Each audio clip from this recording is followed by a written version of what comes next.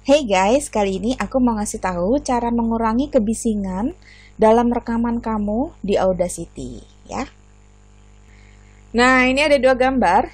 Yang pertama, tempat camping di tepi danau di sebuah gunung. Yang kedua adalah food court atau tempat makan-makan di perkotaan, ya. Kalau kamu pernah camping di gunung, pasti kamu merasakan kalau tempatnya itu sepi, sunyi senyap, itu beda banget dengan waktu kita lagi di kota ya. Kalau kita mau dengerin audiobook, tentunya lebih nyaman kita mendengarkannya di tempat yang sepi. Nah, ini berlaku juga untuk audiobook kamu ya. Kalau kamu rekaman di tempat yang ramai, otomatis orang yang mendengarkan audiobook kamu itu kurang nyaman gitu. Jadi nggak kedengeran suara kamu. Kemudian apa artinya kita harus rekaman di tempat camping, jadi di tengah gunung yang sunyi senyap gitu. Ternyata nggak juga, karena di tempat camping itu kan di alam terbuka ya, sedangkan di alam terbuka itu masih ada suara-suara lainnya, seperti misalnya suara jangkrik, suara air mengalir, mungkin di situ ada sungai gitu kan. Nah, kita rekaman audiobook itu di tempat yang tertutup. Jadi kita rekamannya di dalam ruangan kita. Oke, jadi di dalam maupun di luar ruangan sebenarnya tetap ada sumber kebisingan. Contohnya suara AC, exhaust fan, lampu meja belajar, suara mesin komputer, suara jam dinding ya, suara kulkas, peralatan dapur. ada yang rekaman sambil nyalain blender nggak? Terus kegiatan di dalam rumah, nyuci piring segala macam. Anak-anak uh, ngomong percakapan, ada notif di HP, waktu kamu lagi rekaman tiba-tiba bunyi ting atau kamu rekaman di kamar mandi itu jadi bergema gitu. Terus di luar ruangan juga ada hujan ada air mengalir ada petir angin suara daun burung jangkrik macam-macam nih. Kendaraan kalau misalnya di kota bel atau klakson percakapan di luar kegiatan di luar rumah itu adalah sumber kebisingan. Nah dari beberapa sumber kebisingan ini ada yang bisa kita bersihkan di Audacity waktu kita mengedit rekaman kita ada juga yang enggak gitu. Contohnya yang enggak ya uh, misalnya suara blender. Kamu lagi rekaman tiba-tiba blendernya bunyi der gitu. Itu nggak bisa dibersihin. Jadi kamu harus rekam ulang gitu. Oke, sekarang kita ngomongin tentang room tone, ambience, dan noise reduction. Room tone itu adalah nada kesunyian yang dapat ditangkap mikrofon kamu di tempat rekaman ketika nggak ada percakapan. Jadi kamu belum ngomong nih pada suatu hari si Budi bla bla bla gitu kamu belum ngomong, kamu diam aja.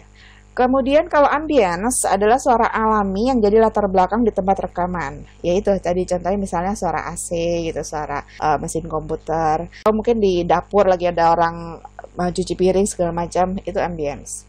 Kemudian noise reduction adalah proses mengurangi kebisingan dari hasil rekaman kita.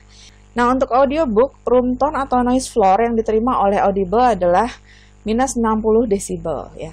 Jadi seperti ini contohnya.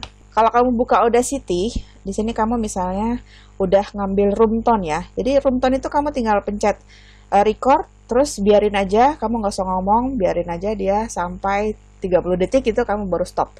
Kemudian ini uh, hasilnya seperti ini. Room tone itu harusnya seperti ini. Dia garis lurus Nah, yang garis lurus ini adalah gelombang suara dari room tone yang direcord oleh mikrofon kamu.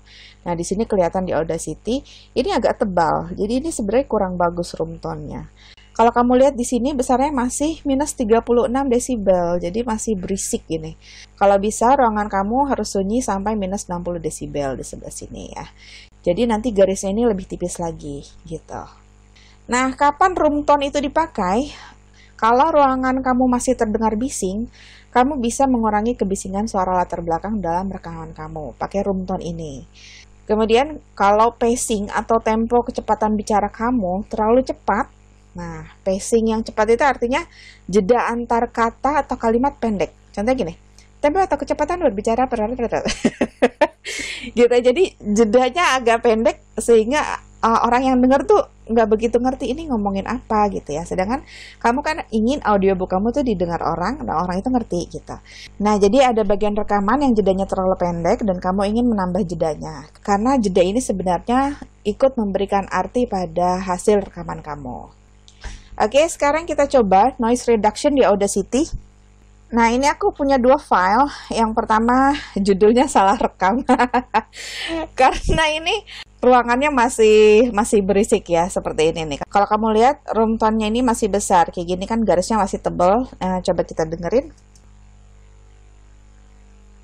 Nah, kalau kamu pakai volume yang maksimum kamu bisa dengar kalau ini kayak berdengung gitu ngong gitu ya itu suara mesin komputer aku jadi ini masih minus 35 lah ya minus 35 desibel Kemudian uh, aku juga ambil room tone-nya seperti ini. Nah, kamu dengarkan itu ada ini masih 36 gitu. Nah, sekarang aku mau kurangin suara dengung ini dengan cara aku copy dulu room tone-nya. Ini aku copy ke file yang ini. Nah, seperti ini. Oke, jadi di sini kalau kita dengerin rekaman yang atas ini yang track pertama. Penerus Klan Masamune oleh Bumi Hijau. Nah, masih ada suara dengungnya ya. Nah, ini room tone-nya juga seperti itu, ada suara dengungnya. Aku mau ngurangin suara dengung di atas dengan pattern atau pola seperti yang di bawah ini ya. Ini aku select aja, klik dan drag kemudian aku klik efek noise reduction get noise profile ya. Kemudian setelah dapat seperti apa sih noise-nya? Kita klik yang ini track yang pertama klik efek noise reduction lalu step yang kedua di sini. Nah ini aku biarkan defaultnya 12 decibel sensitivity-nya 6 frekuensinya 3 reduce. Aku pencet oke OK aja ini kita tunggu sampai dia selesai. Oke, kalau kamu lihat di sini garisnya udah semakin tipis ya untuk room tone-nya ini. Ini aku mute dulu. Kita dengerin perbedaannya. Penerus Klan Masamune oleh Bumi Hijau. Nah, ini udah banyak berkurang ya dengungannya. Kalau tadi kan kerasa banget. Kalau speaker kamu volumenya full, kamu bisa nangkep. Kalau misalnya enggak, mungkin enggak terlalu kelihatan ya. Nah, jadi seperti itu. Itulah caranya untuk reduce noise di Audacity. Nah, tentunya ini masih ada yang ketinggalan ya, yang masih ada yang belum begitu bersih. Itu kamu masih bisa bersihin. Jadi misalnya kayak di depan ini, di depan ini kan masih bunyi ada mouse click juga. Ini bisa kamu hapus. Atau kamu bisa copy paste dari sini aja gitu. Kamu copy ke depan. Paste di sini. Udah. Jadi yang masih ada jendolan-jendolan di garis lurus ini kamu bisa dengerin itu suara apa. Kemudian kalau nggak berhubungan nih kayak misalnya ini nih. Ini aku nggak tahu nih suara apa nih. Ternyata itu kayak, kayak suara klik gitu. Nah ini aku delete aja. Ini kamu bisa lihat yang sebelah sini. Ini juga ada suara klik. Ini bisa di delete kayak gitu. Oke? Okay? nah sekarang gimana caranya menambah jeda di Audacity? Prinsipnya sama. Kalau tadi yang mouse klik itu kita delete ini sekarang kita tinggal nambahin aja. Jadi kita copy room tone-nya seperti ini. Copy kamu mau taruh di mana? Jadi misalnya yang ini kamu mau perpanjang jedanya. Kamu paste di sini aja. Nah dia nanti akan bertambah jedanya. Seperti itu ya. Jadi gampang sekali Oke, sekian dulu untuk tutorial singkat mengenai noise reduction di Audacity. Selamat mengerjakan, semoga sukses. Sampai jumpa di video berikutnya. Bye-bye!